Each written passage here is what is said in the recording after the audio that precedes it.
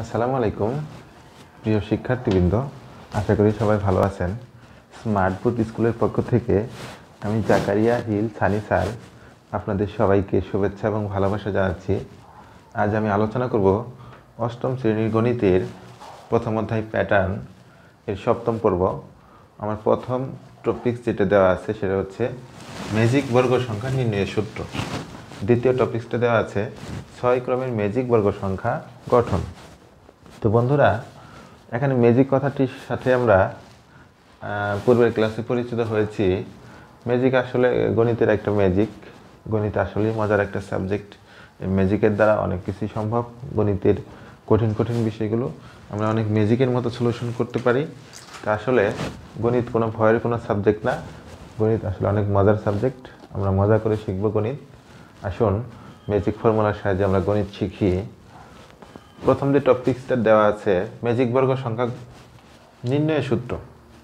তো সূত্রটি আমি লিখে রাখছি, আমরা জানি এন ক্রমের ম্যাজিক বর্গ সংখ্যা n into n square plus one by two এখানে এন ক্রমের জায়গায় যদি আমরা ছয় ক্রমের দিই, যেহেতু আমরা ছয় ক্রমে শিখতেছি, তো ছয় ক্রমের ম্যাজিক ছয় ক্রমের ম্যাজিক বর্গ সংখ্যা কত হবে? এন এর জায়গায় ছয় লিখব। ছয় ছয় স্কোয়ার যোগ এক ভাগ দুই। তাহলে ছয়ের উপরে স্কোয়ার করলে ছত্রিশ যোগ এক সাঁত্রিশ আর দুই দ্বারা ছয়কে ভাগ করলে তিনবার যায়। তিনের সাথে সাঁত্রিশ গুণ করলে কত হবে? একশো এগারো। তাহলে আমাদের ছয় ক্রমের ম্যাজিক বর্গ সংখ্যাটি হচ্ছে আমাদের একশো এগারো। তাহলে পরীক্ষা যদি কখনো প্রশ্নে আসে অবজেক্টিভে যে ছয় ক্রমের ম্যাজিক বর্গ সংখ্যা কত, তাহলে আমরা নিজ দ্বিধায় দিতে পারব ছয় ক্রমের ম্যাজিক বর্গ সংখ্যা একশো এগারো। তা আসুন, এবার আমরা কীভাবে ছয় ক্রমের ম্যাজিক বর্গ সংখ্যা গঠন করতে পারি সেই দিকে আমরা খেয়াল করি। আমি এখানে ছক করে রাখছি। রাফ চূড়ান্ত। এখন চূড়ান্ত যেটা দেওয়া আছে, এখানে চূড়ান্তটার মধ্যে আমরা ফাইনালি আমরা করে ফেলব। এটার মধ্যে আগে রাফ করে নিই। দেখুন, আমি ছয়টি কলাম এবং ছয়টি সারি করে রাখছি। ছয়টি সারি এবং ছয়টি কলাম। এই ছয়টি কলামের মাঝখান দিয়ে আবার আমি চারটি ভাগ করে রাখছি। এইভাবে আমরা ভাগ করব, এইভাবে আমরা ভাগ করব। ভাগ করার পরে আমরা টোটাল কয়টা ভাগ পাইলাম এক দুই, তিন, চার, এইভাবে আমরা মনে রাখব। যেটা হচ্ছে এক নম্বর ভাগ, এর অপোজিটে যেটা থাকবে সেটা হচ্ছে দুই নম্বর ভাগ। তার উপর একটা তিন নম্বর, তিনের অপোজিট আসবে আমাদের চার নম্বর ভাগটা। একটু খেয়াল করবেন। এখানে আমরা তিন ক্রমের ম্যাজিক বর্গ সংখ্যা শিখেছি। আপনারা চাইলে আই বাটনে ক্লিক করে তিন ক্রমের ম্যাজিক বর্গ সংখ্যাটি আপনারা শিখে নিতে পারেন। তিন ক্রমের ম্যাজিক বর্গ সংখ্যাটি যদি আপনারা না শিখেন, তাহলে ছয়, সাত, আট, নয়, এগুলো কোনোটাই বুঝতে পারবেন না। তো আশা করি তিন ক্রমের ম্যাজিক বর্গ সংখ্যাটি ক্লাসটি আপনারা দেখে নেবেন। আই বাটনে ক্লিক করে। এখন এখন আমরা তিন ক্রমের ম্যাজিক বর্গ সংখ্যার জন্য যে মাঝখানে যে কলামটা ছিল, সেই কলামে আমরা কি করছি? প্রথমে এক বসাইছি। এখানেও আমরা মাঝখানে এক বসাবো। এক বসায় আমরা সেই অ্যারো চিহ্ন ইউজ করব। মানে তীর চিহ্নের মাধ্যমে যে আমরা ম্যাজিকটি গঠন করতে পারব। তো বন্ধুরা, আমি আগে বলে নেই এখানে ঘর কয়টি আছে টোটাল? ছয় গুণন ছয়। ছয় ছয়, ছত্রিশটি ঘর আছে। তাহলে আমরা এক থেকে ছত্রিশ পর্যন্ত যেই সংখ্যাগুলো আছে, এই সংখ্যাগুলি মূলত এই ছত্রিশটা ঘরে বসাবো। তাহলে তিন ক্রমের জন্য যেভাবে আমরা শিখছিলাম যে মাঝখানের যে কলামটা থাকে সেই কলামের উপরের দিকে আমরা কি করব? প্রথমে এক বসাবো। এক বসানোর পরে আমরা তীর চিহ্ন ইউজ করব। তীর চিহ্ন দিয়ে গেলাম, এখানে দেখলাম যে কোনো ঘর নেই। তাহলে আমাদের দুই কোথায় আসবে? এই নিচে চলে আসবে। আবার আমরা তীর চিহ্ন ইউজ করব। তীর চিহ্ন ইউজ করার পরে এখানে আমরা ঢুকে যাব। কিন্তু এখানে তো আমাদের ঘরটা নিতে পারব না, কারণ আমরা ফিল আপ করতেছি শুধু এক নাম্বার এক নাম্বারের জন্য কিন্তু আমাদের এখানে কোনো ফাঁকা ঘর নাই। ফাঁকা ঘর না থাকার কারণে আমার তিন চলে আসবে এখানে। আচ্ছা তিনের পরে এখানে আমাদের চার হওয়ার কথা ছিল, কিন্তু এখানে অলরেডি একটা সংখ্যা আছেই। তাহলে চার লিখব আমরা তিনের নিচে। চারের পরে আমরা এরো দিয়ে লিখব পাঁচ, তারপরে লিখব ছয়, তারপরে আমরা সাত লিখব। সাত এখানে হওয়ার কথা, কিন্তু এখানে কোনো ঘর না থাকার কারণে সাত কোথায় যাবে? ছয়ের নিচেই যাবে। তারপরে সাতের পরে আট হওয়ার কথা, আট এখানে হওয়ার কথা, কিন্তু এখানে তো কোনো ফাঁকা ঘর নেই, কারণ এটা তো তিনের। তাহলে আট চলে যাবে এখানে। আটের পরে নয় আসবে এখানে, কিন্তু এখানে কোনো ঘর থাকার কারণে নয় নিজ বরাবর আমরা চলে যাব। আচ্ছা বন্ধুরা, আমরা এক নাম্বারটা দেখুন, একদম ফিল করে ফেলেছি। কারণ টোটাল ঘর ছিল কয়টা? নয়টা। এক থেকে নয় পর্যন্ত সংখ্যা লেখা শেষ, আমার ঘরগুলো ফিল করা শেষ। এখন আমরা চলে যাব, একের পরে সিরিয়াল রাখছি দুই। দুইয়ের মাঝখানের কলাম হচ্ছে এইটা। তো আমরা নয়ের পরে কত লিখব? দশ লিখব। দশের পরে আমরা এখানে একটা এরো চিহ্ন ইউজ করব। কিন্তু এরো চিহ্ন ইউজ করার পরে দেখলাম এখানে কোনো ফাঁকা ঘর নেই, কারণ এটা তো তিনের ঘর, এটা তো আমাদের দুইয়ের কোনো ঘর না। তো এখানে কোনো ফাঁকা ঘর না থাকলে আমরা চিন্তা করব, এই বরাবর কোথায় আছে? এই বরাবর ফাঁকা ঘর কোথায় আছে? এই বরাবর ফাঁকা ঘর একদম নিচের দিকে আছে। তাহলে আমরা এখানে এগারো রাখলাম। এগারো লেখার পরে আমরা এখানে আবার এরো চিহ্ন ইউজ করব। এরো চিহ্ন ইউজ করে দেখলাম এখানে কোনো ফাঁকা ঘর নেই। তাহলে এই সংখ্যাটা কোথায় চলে যাবে? এখানে চলে আসবে বারো। আচ্ছা বারোর পরে তেরো হওয়ার কথা এই ঘরে। কিন্তু এই ঘরে অলরেডি একটা সংখ্যা আছে। যদি সংখ্যা থাকে, এখন আমরা দেখাইছিলাম যে তিনের পরে চার হওয়ার কথা। চার এখানে না বসে তিনের নিচে বসছে। তাহলে এগারোর পরে বারোর পরে তেরো হওয়ার কথা এখানে। কিন্তু তেরোটা আমরা কোথায় লিখব? তেরোটা লিখব আমরা বারোর নিচে। তেরো পরে আমরা সিরিয়ালি লিখতে পারি চোদ্দ, তারপরে লিখতে পারি পনেরো। পনেরোর পরে আমরা এরো চিহ্ন দিলাম। দিয়ে দেখলাম এই জায়গায় ফাঁকা ঘর যদি থাকতো আমরা ষোলো বসাইতে পারতাম। কিন্তু এখানে কোনো ফাঁকা ঘর না থাকার কারণে আমরা কী করব? এই দিকেও যাইতে পারতেছি না, এই দিকেও যাইতে পারতেছি না। তাহলে ষোলো লিখব আমরা পনেরোর নিচেই, ষোলো। ষোলোর পরে আমাদের সংখ্যা আসবে কত? সতেরো। সতেরো আমাদের এখানে বসানোর কথা, কিন্তু এখানে না বসে সতেরো কোথায় আসবে? এই জায়গায় ফাঁকা করে আসবে, সতেরো। তারপরে আমাদের আঠারো এখানে হওয়ার কথা, কিন্তু এখানে না হয়ে আঠারো কোথায় আসবে? নিজ বরাবর আসবে। কারণ এই দিকে কোনো ফাঁকা ঘর নাই, এই বরাবর একটা ফাঁকা ঘর আছে নিচের দিকে। তাহলে আমাদের দ্বিতীয় নাম্বার যে ইটি ছিল, ছকটি ছিল, সেই দ্বিতীয় নাম্বার ছকটি ফিল আপ করা হয়ে গেছে। এখানে আমরা কত পর্যন্ত বসাইছি? আঠারো পর্যন্ত। তাহলে আরও আঠারোটা সংখ্যা বসাইতে হবে, তিন নম্বরে এবং চার নম্বরে।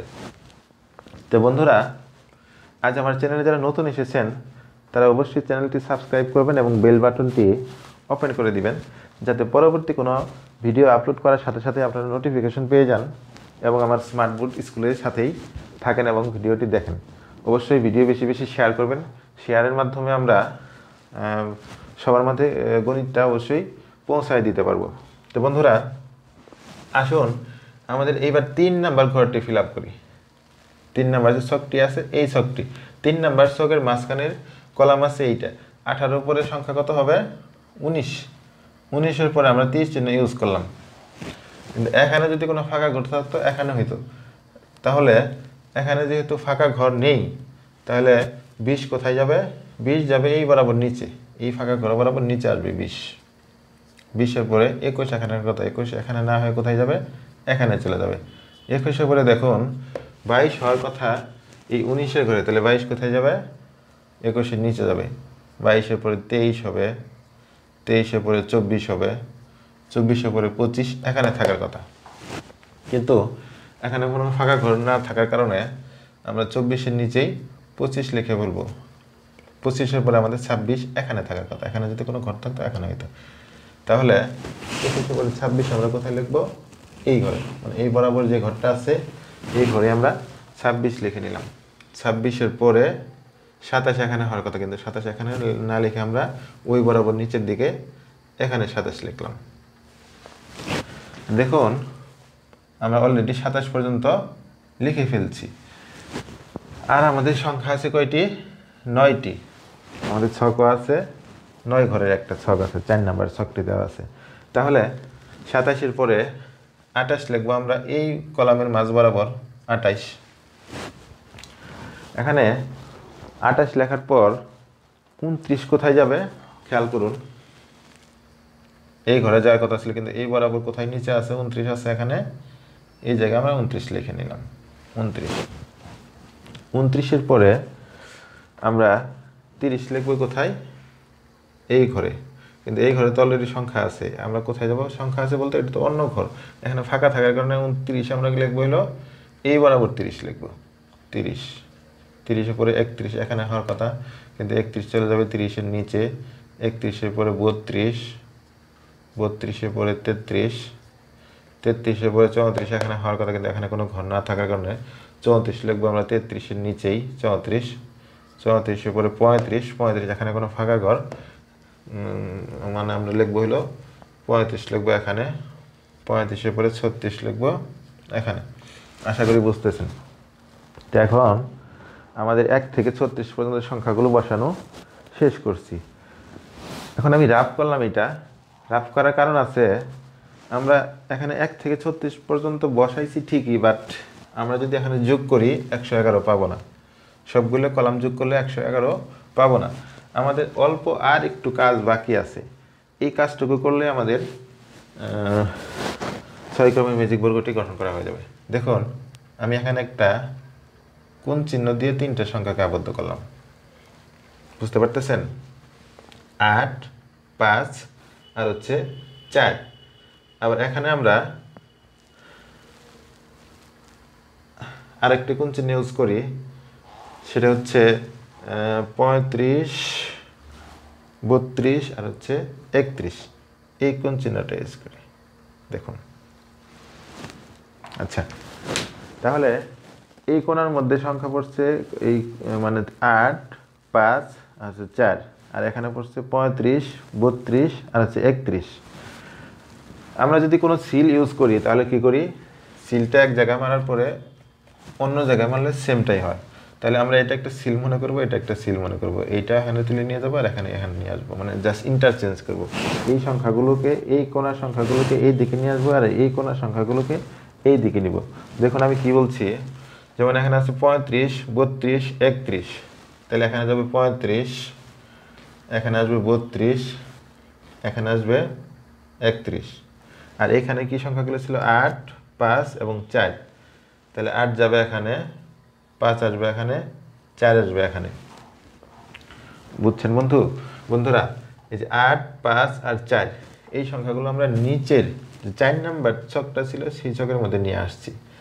আবার চার নাম্বার ছকের যে সংখ্যাগুলো, পঁয়ত্রিশ, বত্রিশ, একত্রিশ, এই সংখ্যাগুলো আমি নিয়ে গেছি, হলো এক নাম্বার ছকে। তাহলে এটা ছিল এক নাম্বার, এটা দুই নাম্বার, এটা তিন নাম্বার, আর এটা হচ্ছে চার নাম্বার। আর বাদ বাকি যে সংখ্যাগুলো আছে, ওই সংখ্যাগুলো আমরা সিরিয়ালি বসিয়ে দিব। দেখুন, এখানে কত আছে তাহলে? এক হবে, ছয় হবে, ছাব্বিশ হবে, উনিশ হবে, চব্বিশ হবে।